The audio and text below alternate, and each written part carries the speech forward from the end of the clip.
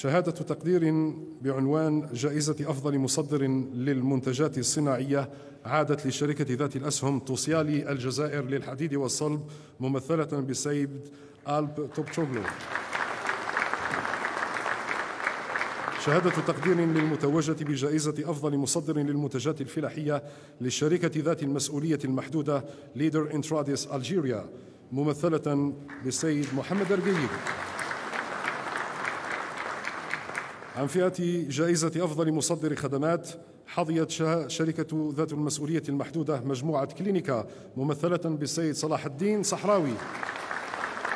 شهادة تقدير للمؤسسة المتوجة بالجائزة الخاصة بأفضل مصدر للقارة الإفريقية عادت لشركة ذات الأسهم الجزائرية القطرية للصلب ممثلة بالسيد يوسف أحمد المهندي ويتقدم عنه السيد عادل خمان المدير العام لمجمع إيميتال.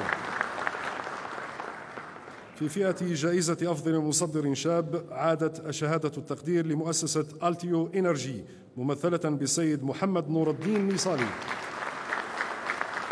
للمرأة نصيب في هذه الجائزة وعن جائزة أفضل مصدرة امرأة فقد عادت لمؤسسة طولغا البركة ممثلة بالسيدة فاطمة منعا